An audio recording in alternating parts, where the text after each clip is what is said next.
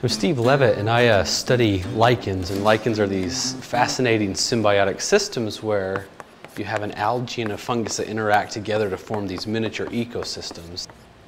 And my role is to uh, look at these systems and try to identify the evolutionary relationships among these different symbiotic partners. So I work on the system of, of lichens called camouflage lichens and these are incredibly common lichens. They're found uh, on bark and sometimes on rocks. One of the, the greatest things about lichens is that almost any level that you look at them, they're fascinating. I mean, you can go out and see a cliff face that's splashed with all these colors of lichens growing on the cliff face, and it's beautiful. You can see a tree that's covered in, in lichens, and, and you can pull out your hand lens or your dissecting scope and take off a single specimen and start looking at it.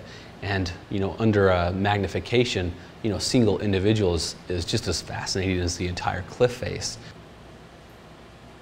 Once we collect a specimen in the field, the next step is to bring it back here to the museum, to the lab, and we'll prepare the specimen for the molecular portion of, of our analyses.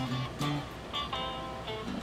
we'll take the DNA, run it through a series of, of processes, and by comparing a, a wide array of DNA sequence data, we're able to actually distinguish and infer that there are multiple species hidden within.